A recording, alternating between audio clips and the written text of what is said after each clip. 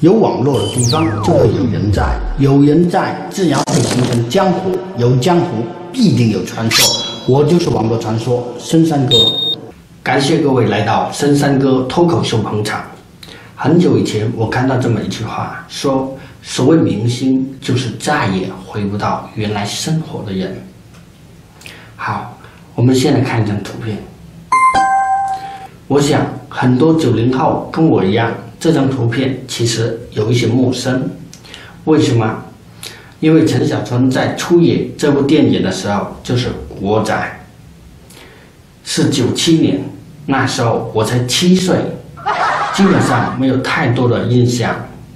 好，我们再来看一张图片，这张图片就是《爸爸去哪儿五》里面许多小孩中最受欢迎的一个，他就是 Jasper，而 Jasper 的爸爸。就是前面我们说的陈小春，很多人认识陈小春，就是因为看了《爸爸去哪儿五》。好了，为了让大家更好的了解 Jasper，我们先从他爸爸说起，大概说一下他爸爸早年的一些经历。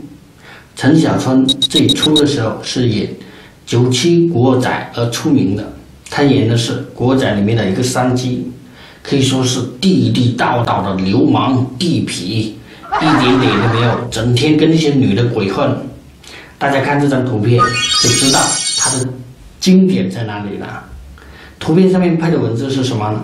当初他去日本的时候碰到了一个日本的华侨，然后那个女的就问他叫什么名字，他说我就叫山鸡，山鸡的山，鸡巴的鸡。哇，我靠，这种事情有谁讲得出口？这就是陈小春干的这种事。所以给人的印象特别的深刻，所以大家看过山鸡哥演的国仔系列的话，都知道他是一个什么样性格的人，他的脾气是如何的暴躁，完完全全就是一个地痞流氓的性格，他的那种形象太深入人心了。他去了《爸爸去哪儿》第五集的时候，也就是现在刚刚开演的《爸爸去哪儿五》，他是头一次去哦。因此，他跟他儿子之间的互动和用语言的表达、互相的交流，给人太深刻的印象了。何况他儿子长那个样子，你看，有一部分像他，又有一部分像应采儿，两个人的综合体结合的特别的可笑、可爱。很多人认识杰斯伯，都是因为他被他爸爸骂才知道的。事情是怎么一回事呢？没有看过录像的，我在这里跟大家重复一遍了。当时刚去的时候，因为陈小春也就是三鸡哥对环境特别的不熟悉，第二天又要早早的起来去别的地方摘东西，然后他就带着他的儿子走到了一个上坡的地方，要到别的地方去摘果子嘛。然后他儿子走得很慢，他跑到了楼梯上面以后，他那个暴脾气马上上来了。对着他四岁的儿子喊：“你给我走快点！”儿子一吼，哇，把全场的摄影的节目组的人都惊呆了，以为他儿子会哭，没想到他儿子拿起了话筒说：“Can you stop a l i now？” 不过儿子不是用这种语气说的哦，相反，他儿子慢慢的拿起了话筒，对着话筒说：“Can you stop a l i now？” 意思是什么？你不要生气了好吗？其实这引起关注的并不是重点，重点是什么？重点是他的妈妈应采儿，更是一个暴脾气，而且性格特别的急躁。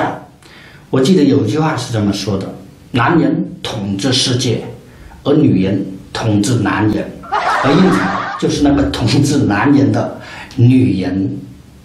所以说，在娱乐圈，陈小春可以说是出了名的耙耳朵。怕是什么意思？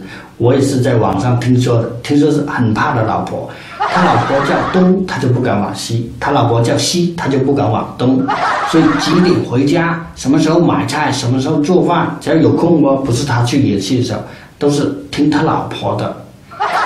两个人性格那么暴躁，而且的实话一物降一物，为什么要有这么一个跟他们性格几乎完全相反的？小孩子出现了，这才是大家所关心的。还有一点，我想说的重点是，你别看 Jasper 才四岁哦，他可以说一口流利的 English。现在很多人二十多、三十岁了都不会说 English，你看都比不了 Jasper。因此，四岁就能说一口流利的 English，这也是很多人关注的吧。好了，今天的脱口秀我们就说到这里。要是大家有什么问题，可以在我的微信公众号或者微博上留言。我们下期再见。古有抒情张离，今有网红深山哥。